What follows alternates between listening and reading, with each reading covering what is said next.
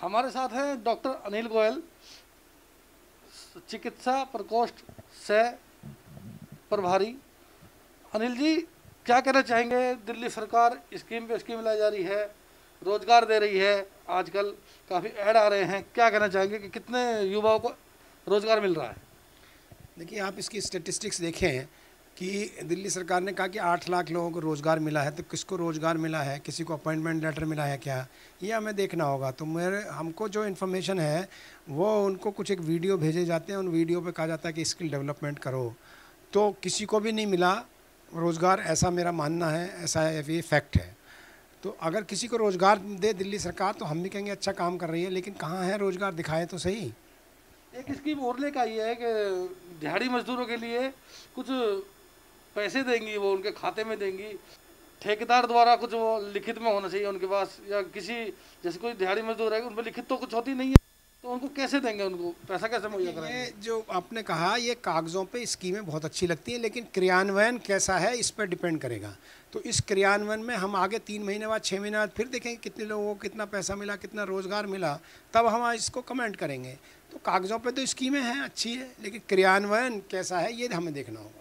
Doctor साहब एक जब जब दिल्ली में बारिश होती है, सड़कों पर पानी भर जाता है, क्या कारण मानते हैं? दिल्ली सरकार कहती है एम की कमी है एमसीडी कहती है दिल्ली फर की, दिल्ली सरकार की कमी है। कहाँ कमी मानते हैं?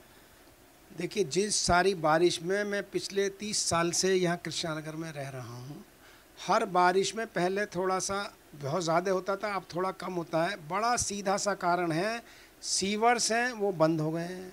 क्योंकि सीवर की कैपेसिटी जो सीवर प्रोड्यूस हो रहा है पब्लिक द्वारा जो डेंस पॉपुलेशन है उस वो बढ़ गई है तो सीवर की कैपेसिटी जो सीवर प्रोडक्शन से कम है। वो पाइप्स पुराने हो गए हैं। उसके बाद जो पानी आ, आ, की पाइप्स हैं वो 25 25 साल पुरानी हो गई जर्जर हो गई हैं। जो नालियाँ हैं जो रेन वाटर स्टॉर्म की नालियाँ हैं उसमें आ, प्लास्टिक भरा रहता है सफ़ाई नहीं है।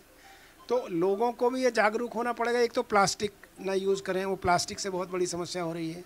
दूसरा समस्या है कि जो पाइप्स हैं पुराने, सीवर के हों या जल बोर्ड के हों, उन पाइप्स को बदलने की ज़रूरत है।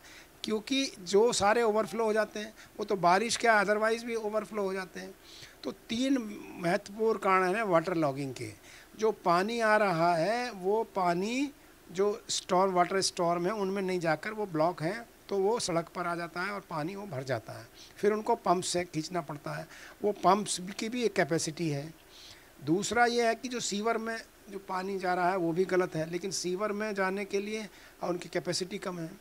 तीसरा प्रॉब्लम है कि जो पानी की पाइप्स हैं, वो ख़राब हो गई हैं।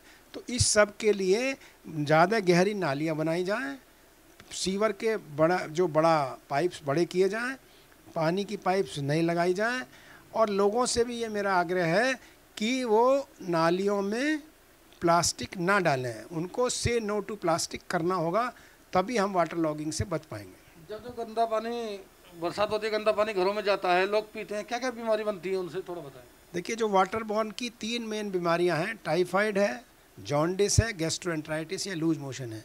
और यही अगर बीमारी किसी छोटे बच्चे को या बुज़ुर्ग को जो कॉम्प्रोमाइज इम्यून सिस्टम है जिनको डायबिटीज़ है हाइपरटेंशन है उनको और ज़्यादा सीरियस स्थिति में ला सकती हैं। तो आप समझ सकते हैं कि किसी को मान लो जॉन्डिस हो रही है तो वो एक महीने गया चाहे वो बच्चा हो या बड़ा हो, क्योंकि शुरू में दस, बारह दिन, पंद्रह दिन तक कम होगी ज़्यादा होगी, फिर कम होगी, फिर उसको कमज़ोरी उसकी ठीक होगी।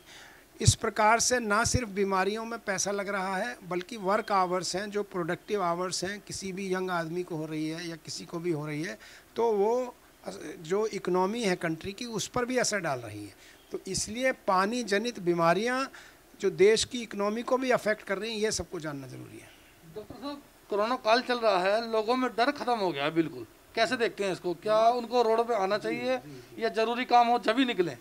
बहुत अच्छी आपने बात की जो दिल्ली में कोरोना का 600-700 केसेस पर डे हो गया था पिछले वीक वीक में 1200-1400 पहुँच गया। ये बिल्कुल सिर्फ़ यही है कि आप इससे डरे नहीं, ये तो बात ठीक है, लेकिन अलर्ट ना रहें, ये बात गलत है। आपको तीन, चार सिद्धांत अपनाने पड़ेंगे।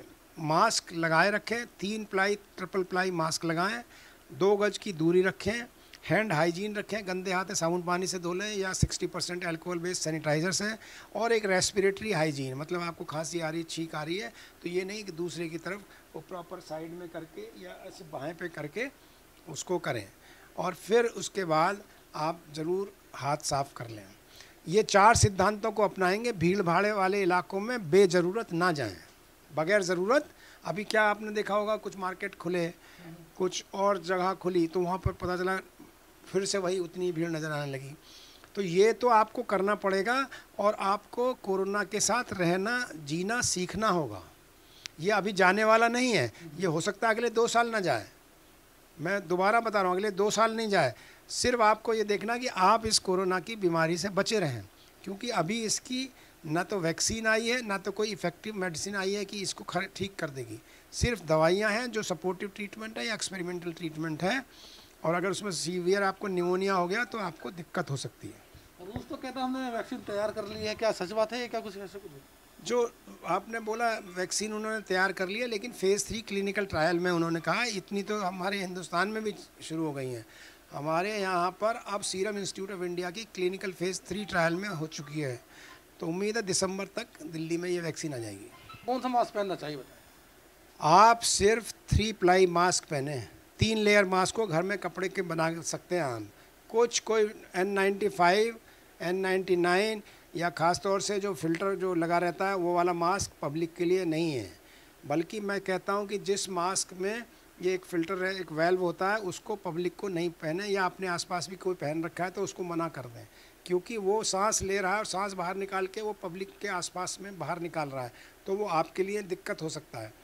तो पहले तो आप थ्री प्लाई मास्क पहने नंबर वन कपड़े का पहने जो रीयूजेबल है रीवाशेबल है तो आपकी कॉस्ट कम हो जाएगी।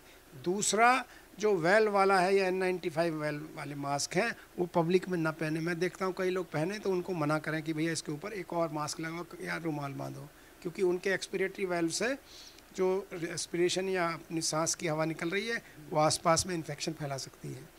तीसरा, जो N ninety five N ninety nine mask हैं, वो सिर्फ़ हेल्थ केयर वर्कर्स के लिए हैं। वो आपको पहनने की ज़रूरत नहीं है। बहुत बहुत धन्यवाद हमसे बातचीत करने के लिए। तो डॉक्टर अनिल गोयल। बहुत ही अच्छी जानकारी दी इन्होंने। मार्क्स के बारे में और सभी तथ्यों पर बात की इन्होंने हमसे। कैमरामैन अभिषेक के साथ धर्मेंद्र कुमार, लाइव न्यूज़ दिल्ली।